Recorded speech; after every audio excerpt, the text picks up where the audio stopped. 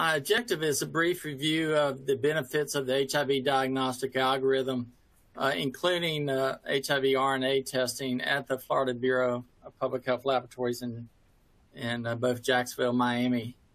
Uh, a brief re- review also of the efforts to integrate the clinical management testing into a new uh, single staging algorithm concept.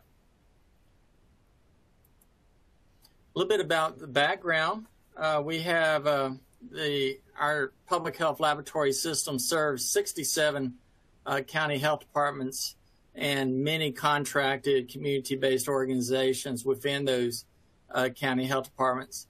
Our HIV diagnostic testing is offered to providers who perform HIV 1 2 rapid pre screening, as well as those who do not pre screen at point of care.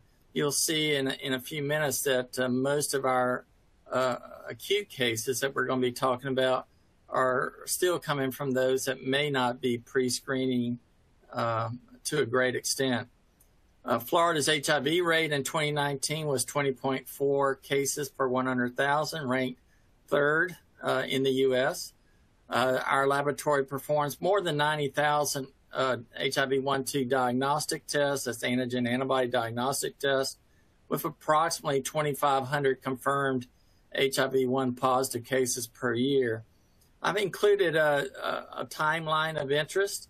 Uh, we actually transitioned to the HIV 1 2 antigen antibody three test algorithm in April 2012, uh, even before the guidelines came out, because we had the opportunity with contracts uh, to both switch our primary screening test as well as to move away from Western blot all at the same time period, and we went ahead and, and did so.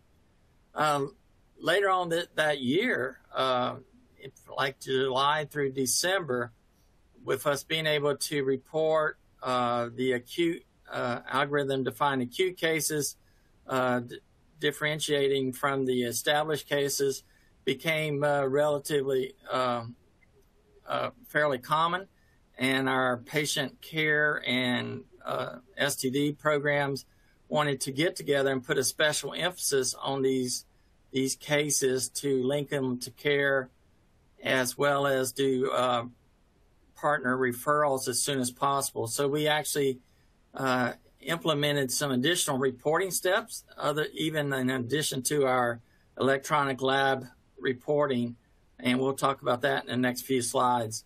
Uh, jump all the way to 2021, even during the middle of the uh, COVID 19 pandemic, we were able to uh, uh do some replacement of some uh, long uh, in, in placed algor- assays in our algorithm. we replaced the HIV RNA, HIV1 RNA qualitative assay was replaced with the HIV RNA Quant DX uh, diagnostic assay, which allows that simultaneous diagnostic and quantitative RNA provided a plasma specimen is submitted. And then in October of last year, uh, we replaced our HIV1 Sanger sequencing assay with an in-house verified target next generation sequencing procedure. So this is uh, is the, our algorithm that we're most accustomed to seeing. And the only way I, I actually modified it a little bit to show that now we have not just uh, non-differentiating antigen antibody immunoassays, but now differentiating uh, HIV one, one, two antigen antibody assays. And of course, that can lead to maybe some easier ways to confirm HIV2 cases or suspected HIV 2 cases, as well as uh, give you an idea if you will need RNA testing to maybe confirm an H, uh, P24 antigen uh, reactivity. Uh, down with the HIV RNA, as I think Bernie had a, a good uh, uh, coverage of this yesterday, and that we now have more than just a qualitative and a quantitative uh, HIV1 assay uh, for this third step in the algorithm. We now have the Quant DX assay, and we have uh, MAT uh, HIV1, HIV2 uh, simultaneous detection uh, in, in our RNA platform. Also, just as a reminder, when we I talk about algorithm-defined acute uh, infections, what I'm looking at is is the initial test being re- repeatedly reactive, and then the supplemental test being on the far right as either HIV one negative or indeterminate, or HIV two negative indeterminate, and then reflex to RNA, and then it's the result on the left uh, being defined as the acute infection. So this actually led to um, a change in our requisition uh, soon after we started really identifying a substantial number of acute cases, relatively speaking. You'll see the numbers are not great, but they are enough to get the attention that, of uh, patient care that they want to uh, get these people linked as soon as possible. So before um, we were always collecting uh, rapid test data on our requisitions, uh, even before uh, the new algorithm. However, with the uh, ability to differentiate and distinguish the acutes from the established, uh, we now receive serum plasma that are marked as point of care reactive, which we, you know, typically would we be performing confirmatory for that but we're also getting those that are marked rapid test non-reactive, possible acute. So we want to make sure that we uh, see that, we re, uh, run it through the entire algorithm uh, and to see uh, that we're, the rapid test is not missing an acute stage. And thanks to the, uh, the, the, astute uh, counselors, and we'll show you some examples of that, that they're able to, by marking these boxes, uh, they are able to confirm that they were actually working with somebody in the acute stage. So this is uh, our early focus on the algorithm identified acute uh, infections resulting in assessing the distribution of these pedigree cases.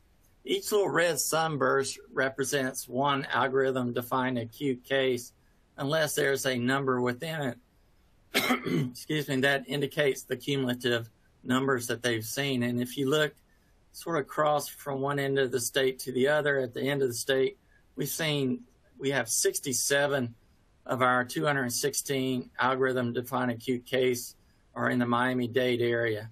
Uh, so this, and then our Central Florida area, you'll see like Orange County with 33 and uh, Hillsborough with 27, Pinellas with 20, 11, that these are two of the metropolitan areas and, and regions that uh, rank probably in the easily in the top two, uh, I mean the top 10 of the uh, HIV incidence cases for the U.S. Uh, so our acute cases is matching the incidence quite well. I will uh, mention on this, uh, our policy since 2012 is to notify the, the healthcare providers uh, and the regional DIS and patient care staff on all of these acute cases in real time. This is in addition to the electronic lab reporting.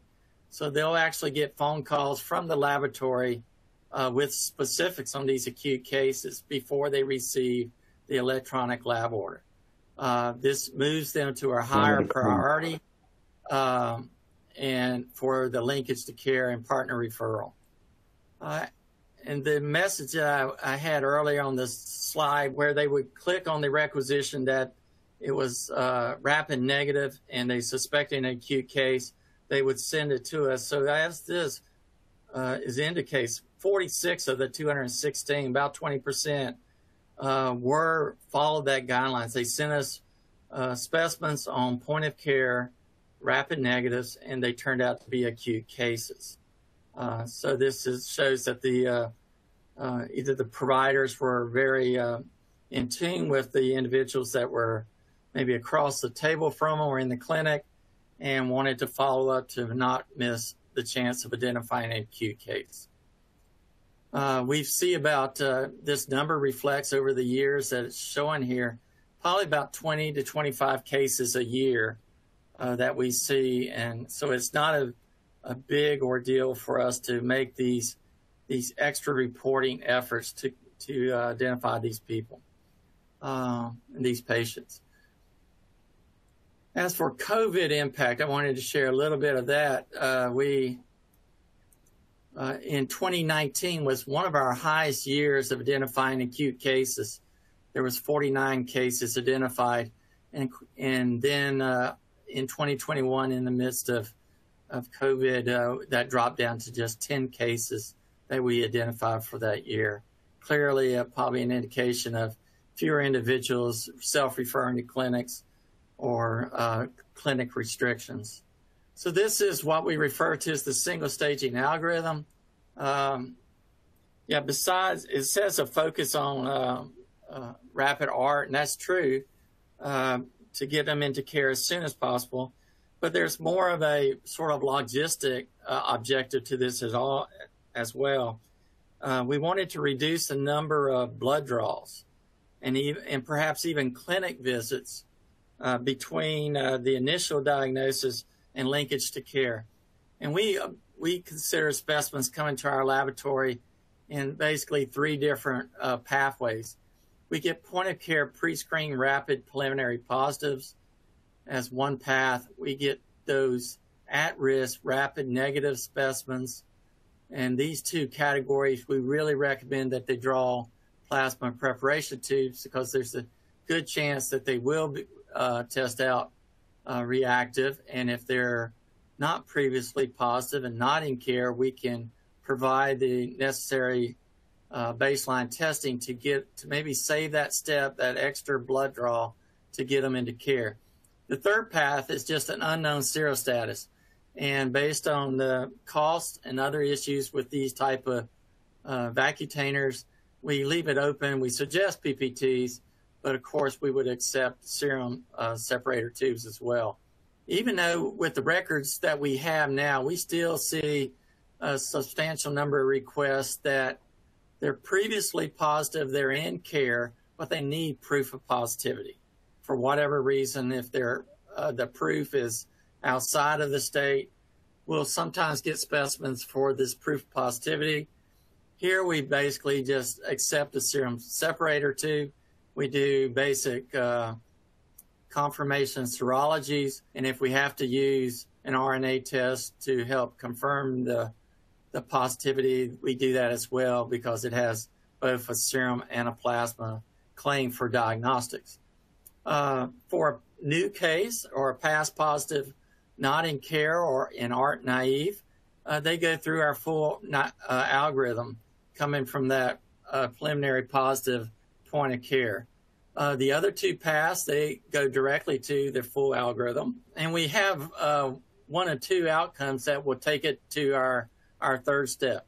If it's discordant between the antigen antibody and the supplemental test, of course, that would go to our RNA uh, third step. And in case of a plasma, we can confirm it as a an acute case, but we can also give it a baseline viral load as well, which we haven't been able to do that until uh, earlier in 2021, around January, February 2021, when we brought the QuantDx in to replace our qual.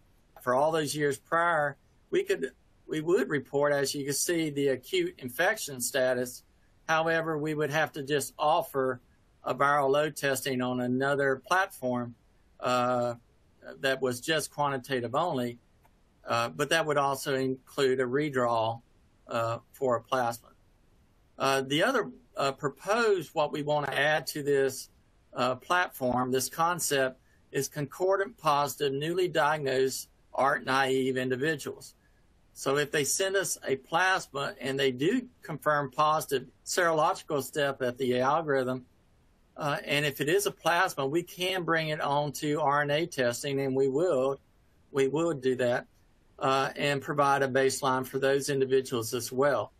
Uh, if it's a serum, of course, all we can do is report it as, uh, as we do prior to 2021 as concordant positive, an, an established infection. And if they are newly diagnosed at that stage, we would recommend them send us a plasma and we provide the viral load uh, if they wish us to do so.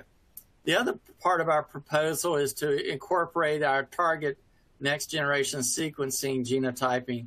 Uh, if the plasma, now this does require plasma, so our, this is another reason we strongly push for plasma, is so we can do that genotype for clinical purposes as well as surveillance purposes. Uh, but that plasma, if it's greater than 2,000 copies, we would, um, in the RNA, we would reflex that to our next gen sequencing. Um, with that, the only thing I, I wanted to go back because we did talk about, you would think it uh, this would be hard to get people to adhere to that uh, centrifugation of either uh, the plasma preparation tubes within four to six hours. But because most of our providers, at least those that deal with clinical management or combined diagnostic and clinical management, have been doing that for so many years for our, because we've been doing viral load testing since the mid 90s, that the, this is not as uh, much of a barrier as the actual use of anything other than a PPT. Our providers really like to use PPTs and SSTs. They do not like to uh, use traditional EDTAs um, to uh, to spin, pour off uh, the plasma into a sterile tube, and then send it to us. So we try to. Uh, this actually is working to our favor uh, uh, as well. So with that, I think I just have an acknowledgement slide next. Yes, uh, so I wanted to acknowledge uh, my colleagues here at the lab and uh, recommend uh, a couple of resources. Uh, the most recent out of APHL is a, a, uh, fact sheet basically of, on the use of interpretations of quantitative HIV viral HIV-1 RNA test results, guidance for laboratories, and our um, document on suggested reporting language uh, the January 19 issue.